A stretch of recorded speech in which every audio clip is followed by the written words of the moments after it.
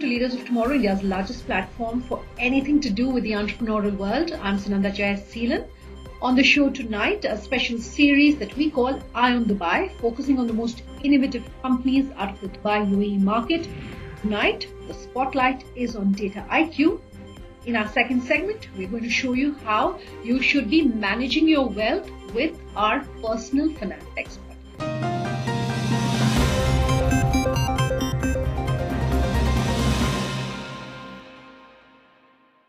Let's first then bring to you our special Eye on Dubai series, uh, talking about all the innovation and all the action taking place as far as the Dubai UAE market is concerned.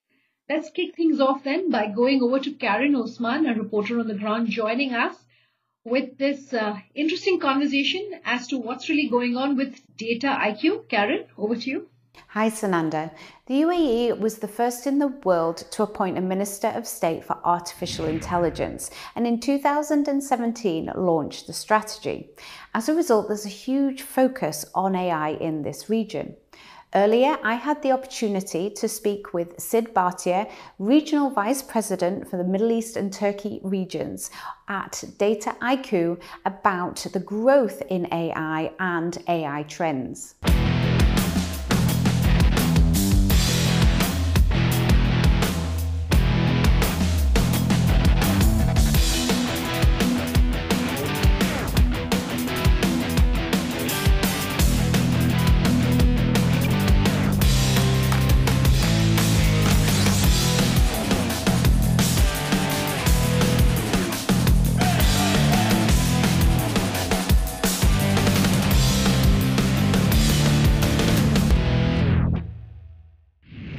Does Dataiku do and how does it differ from the competition?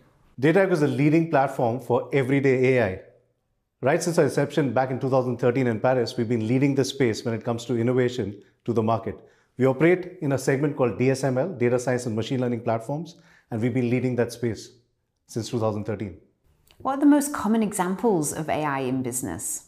So it all starts with the C-level executives, to be honest. I mean, it starts with the initiatives that they're taking. And if you look at the business value drivers, across organizations, you'll see certain patterns. So it could be around reducing cost, increasing revenues, looking at new segments, new products, introducing new services to the market. It's very important to figure out first what the value drivers are and how many strong champions you have or really the change agents who want to really implement AI. It starts with that value, business value assessment at that level and it percolates down to use cases. At the end of the day, we're looking at multiple sectors. Uh, Dataiku is obviously a horizontal uh, kind of a play. So we look at multiple different uh, sectors, and within each and every sector, the use cases could vary. So let me give you some examples here. So let's look at a sector that we're very, very strong in, which is financial services and insurance. And within the FSI sector, huge focus on customers.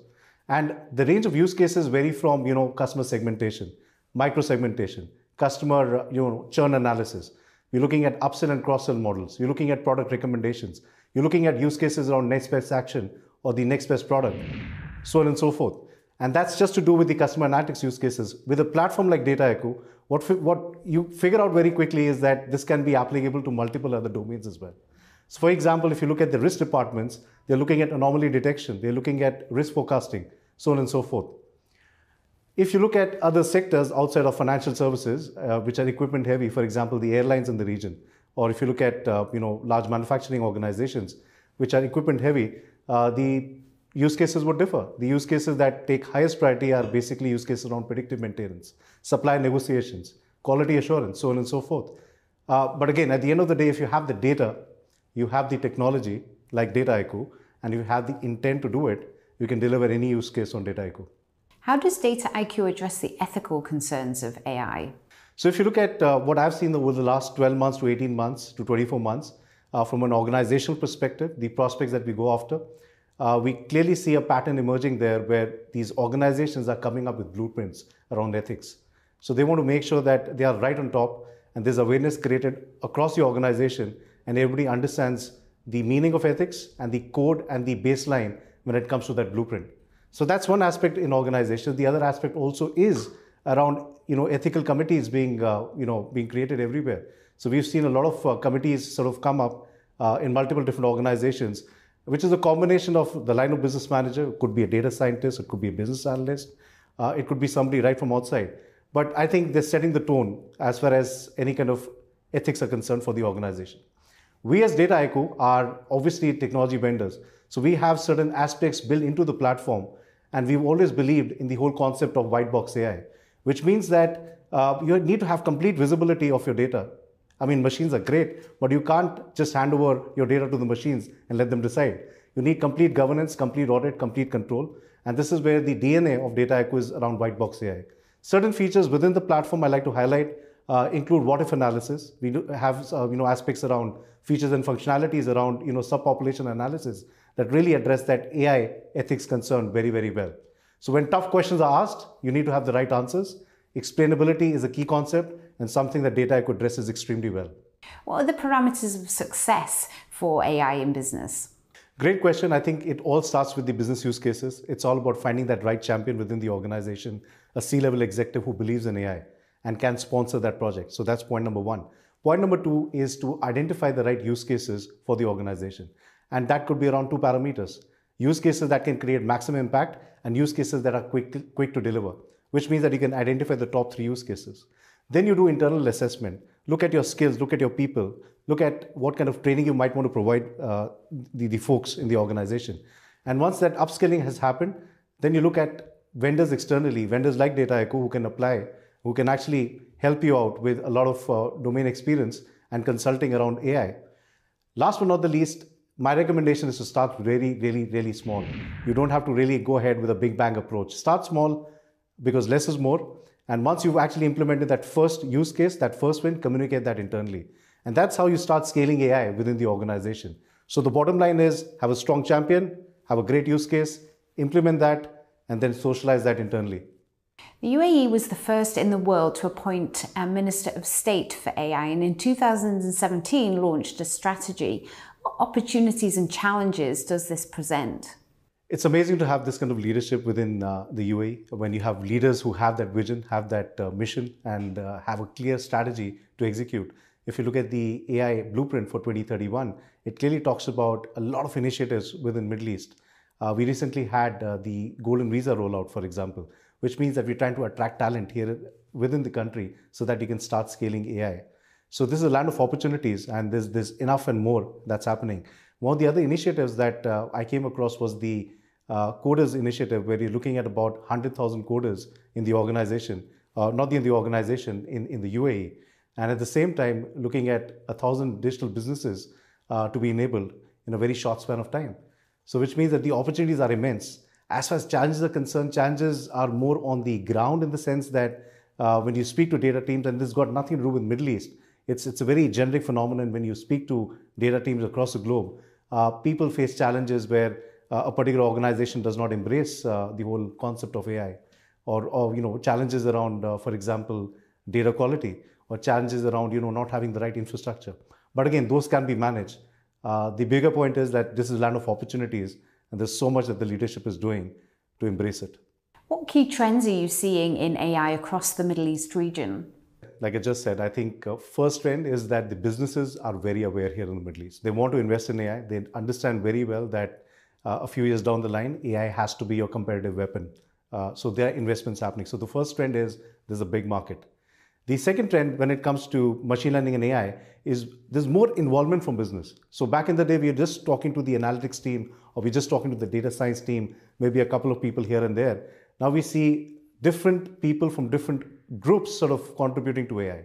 Which brings me to the third point, and which is around inclusive AI, which means that it is becoming more inclusive. AI is becoming, becoming more democratized within the organization.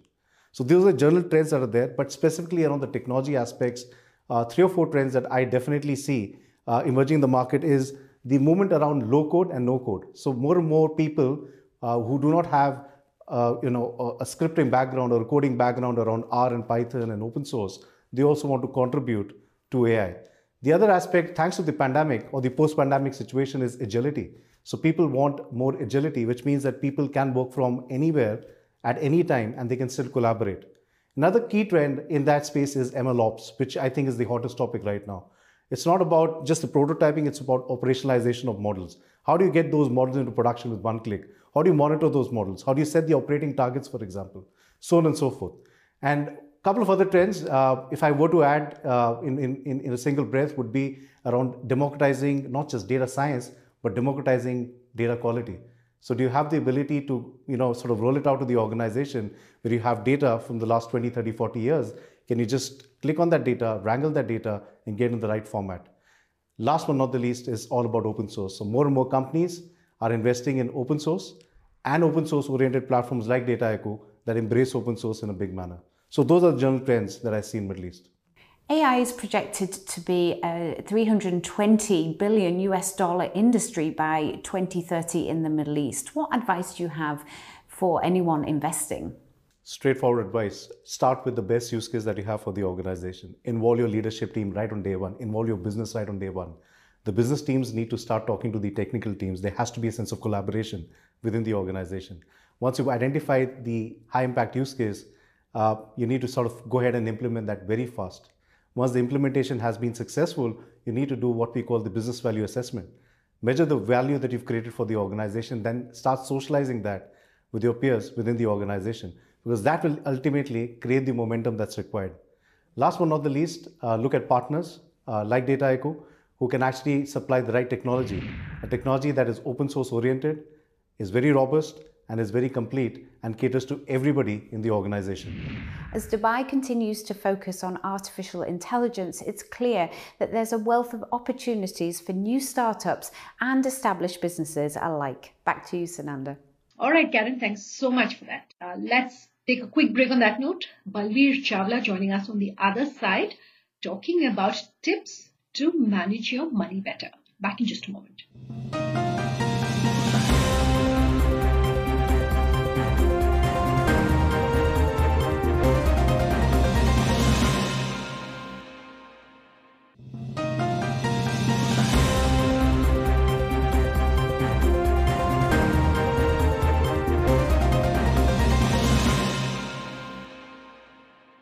Welcome back with us here on Leaders of Tomorrow and Tonight. In our segment where we show you how you should be managing your money better, we are in conversation with Balvir Chawla. He was part of a series of town halls that we do across the country, connecting face to face with entrepreneurs. My colleague Pooja Jain posed a few questions to him on how entrepreneurs like yourself, or if you're just any Indian who's asking, how should I be managing my money better? Well, here are some answers for you.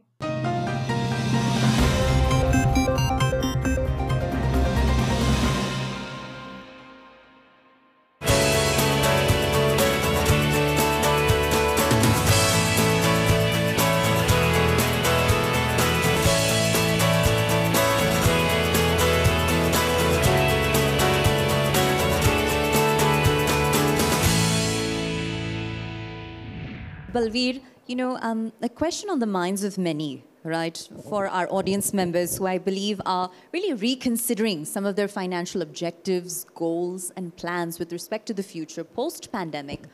What essentially distinguishes savings from investing? And how do these two strategies need to be both taken in parallel and yet viewed distinctly? Well, uh, savings is just one part of uh, what we set aside from the surplus that you have. So I'm earning 100 rupees, I spend 90 and I just keep aside 10 for a rainy day for something I may need in the future. Investing is something which comes a little more, which is generating much more better returns, generating or beating your inflation, trying to beat, uh, making it more tax efficient, getting more tax efficient returns. That is where probably investments fit into people always uh, mistake savings to be investments. And that has been a problem. Again, I would go back to what uh, even Dr. Raman was saying. It is more of our mindset thought process. Okay, if I'm getting a guaranteed return or if I'm getting a safe return, it's more safe. And I don't want to take a risk. I want to just uh, you know, park it in my bank FD or maybe a low return as far as it is safe. And that is where saving is. You're just saving it aside. It's not beating your inflation. So you're getting something like a 3.5% on your uh, saving bank account. And uh, your inflation is at 5, 5.5%. So what are you gaining? You're losing money. And plus you're paying a tax on that. So investments has to be looked in a different perspective as savings. So that's what would be the difference between a saving and investment. Absolutely, sir. And many companies that are perhaps in, in, in, a very nascent stage are looking to raise capital by way of credit, right? You can see instruments as basic as credit cards funding the birth of companies, right? And one of the most common complaints with credit cards is these rewards and awards are lost in translation. It's, it's very difficult to understand how to cash in on them as a consumer or as a corporate. How might you uh, guide someone in that position, or what more do you think the industry needs to do to simplify these credit features for the consumer? So, credit cards, personally, I believe, is a very good financial management tool. If your expenses are done on your credit card, you have a track of what you're expending, and you know where you have spent money. You know what your limit is, you can set your limits. People have always used as credit cards as a tool to uh, you know, leverage themselves. They've always gone into a debt trap because of that because they have not used it judiciously. But if you're using a credit card judiciously, believe me, there's no other better financial management tool where you get a track of, at the end of the month, you get a complete track of what expenses I have done, whether it is hotel, whether it is petrol, whether it is uh, entertainment, what it is. I can get a clear-cut bifurcation. So, uh, and companies are coming up with reward points, you get cashbacks, you get uh, other incentives. If you know how to use them judiciously, you can really make good use of them. So you can practically have a credit card by not paying anything and get the best of features with the airport lounges and uh, other stuff coming free of cost to you always. Well, speaking of leveraging features judiciously, right? Uh, I think one commonly misunderstood term is the concept of a credit score, right? And the benefits that it can have uh, in terms of, you know, down the road, for, for example, you might receive an offer on a loan or more favorable terms, et cetera, et cetera. But I think a credit score is often uh, put on the back burners, so to speak. So at what age and stage in one's, you know, personal and professional journey is a credit score something that they need to be thinking about versus, you know, actively working towards? A fantastic question because I feel majority of the people today don't track their credit scores. And it is only when they approach a bank and the bank declines them the loan or charges them an extra interest rate, then they realize that their just credit score is bad. That at some point of time there was some bank uh, payment that has not gone on time, and that is why it's getting reflected. Or there was some place where they were a guarantor, or there was some loan which they have forgotten, but the credit score is reflecting. I personally, uh, whenever clients come to us, I first ask them that, uh, have you checked your latest credit score? And uh, they say, no, why? And I say, just go and check because they're the same credit card issues. You get a call on your phone and you tell, okay, fine, send me a credit card. And somebody sends you a credit card and there could be three, four credit cards, though you're not using, but they're lying in your drawer. And that could impact your credit score because it's showing that you're using or you're at least availing of those credit cards.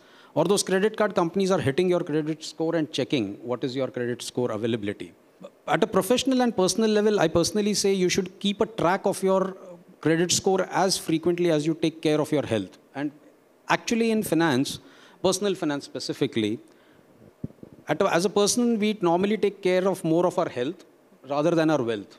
So we may spend, you know, daily half an hour, 45 minutes walking, jogging to try and, you know, reduce my blood pressure, sugar, whatever, or to remain fit but I will not spend 15 days or 15 minutes in a week or maybe half an hour in a month to understand what my business is doing. To understand the finance I'm talking. I'm not talking of the hands ground manufacturing, what is happening. I'll be running behind orders, I'll be running behind suppliers, and I'll be just getting into a loop. I'm not having a grip on the finances. And as uh, we deal with uh, small businessmen, we deal with SMEs, we deal with uh, salaried people, we have seen this as a major problem they don't have a grip on their finances. And when they don't have a grip, that is when the whole situation starts. Then you are more credit hungry.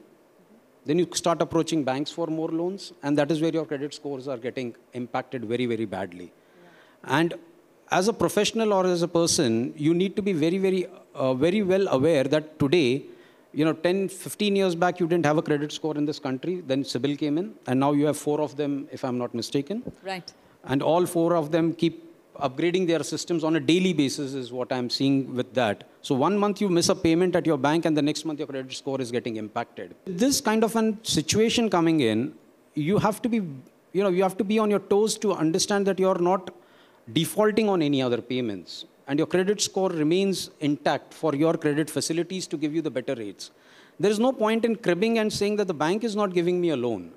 Your bank is not giving you a loan because your, either your financial documents are not in place and you're not having a grip on your finances. That's the biggest problem. Phenomenal. Now I'd uh, like to open the floor. If there is any Q&A from our audience, uh, then we can, we can certainly have Balvir answer any questions that you may have. According to you as a financial expert, what is still the best solution for investing? Is it still the share market or there is some new uh, you know, trend wherein you can invest and uh, even if you are a risk taker, you can get more returns? So there's no best investment and there's no worst investment. Let me put it this way. So what suits you does not suit me, and what suits me does not suit her. It's as simple as that. So you may want, uh, for you, the best investment could be cryptocurrency, if I may name it. For me, it would be probably a bank FD. So it all depends on what's your goal, ambitions, what is it that you're uh, you're striving for. So best investment and worst investment is always looked at from a returns perspective, if I put it that way. I would say it should not be looked at it that way. Your, your investments are purely for achieving some goal or the other. Whether it may be after 10 years you want to retire, you want to be financially free, in 5 years, 10 years, that's your goal, and you should strive for that. Returns will come along the way. It will happen. Your goal should be clear what you want and why you want it. The moment you have that clarity, you will automatically strive towards achieving that goal, and it will happen. So within that, it has to be purely asset allocation, and it will not be that you should be, you know, it should not be that your only one player is playing the full match. You need to have a full diversified team. You need to have a fast bowler, you need to have a spinner, you need to have a wicket keeper, you need to have a striker, you need to have an opening batsman. Similarly, in your portfolio, you need to have practically all these aspects which take care of every situation. And you don't know which asset class is going to perform when. 2019 end or 20 start, somebody would have asked me, I would have said sit to equity. Market falls, and then, then you probably start thinking whether you should be right or wrong. And then you still keep on, either you are exited or you are inside it. But if you are doing your asset allocation right at every point of time, either yourself or you're monitoring your wealth, then you will take asset allocation calls automatically. And once you do asset allocation, then this returns concept will get away. Because then you're automatically doing things which are needed to be done. Balvir has made it very tangible, very relatable, and the cricket analogy never hurts. So with that, thank you. A huge round of applause, Balvir completely out of time then on tonight's episode. If you have any feedback for us, do let us know. Our contact details on your screens as we speak. Thanks for watching. Have a good night.